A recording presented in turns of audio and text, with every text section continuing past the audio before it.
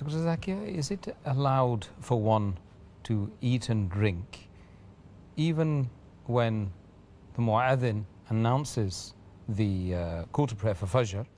Is it allowed to eat and drink? Some people, I'm not sure whether it's correct or not, but some people believe that you can eat and drink all the way up to the Fajr Adhan and beyond. I'm aware that there are some Muslims who believe that you can eat and drink until the Fajr Adhan ends. And there are some people who, when they can hear various Adhan of different mosques from their house, they wait till they hear the end of the last Adhan. So if they can hear five, six Adhan, they wait till the last Adhan ends, till that time they eat and drink. In fact, this is not proved from any of the hadith of the Prophet. And anyone who innovates a new thing in the deen, it has to be rejected. It's mentioned in the hadith of Sahih Bukhari, volume number 3, hadith number 2697, that anyone who innovates a new thing in the deen, it has to be rejected. In fact, it's clearly mentioned in the Quran in Surah Baqarah, chapter number 2, verse number 187, that eat and drink until the white thread of dawn becomes distinct to you from the black thread.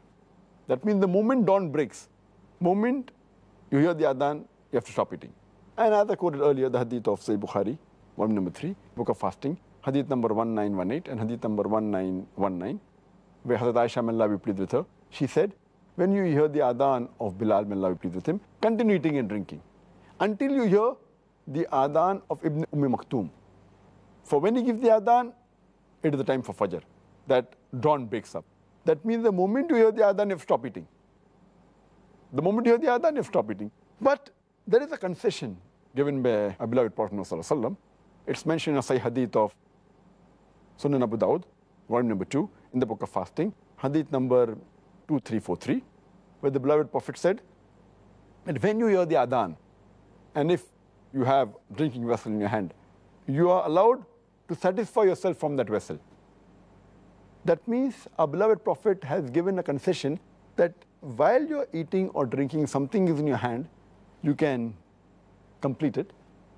But that doesn't mean that if you have a big sandwich in your hand, that you complete it. If you have a bite left of that sandwich in your hand, and then you've had it, it's fine. Or when you're drinking a glass of water, and there is something left in it, you can have it. That doesn't mean you can go out of your way and touch your hand and pick up another glass of water and keep on having have a big burger or a sandwich and keep on eating for a few minutes after the adhan started. And it's a misconception that you can eat till end of the adhan. There's no hadith saying that.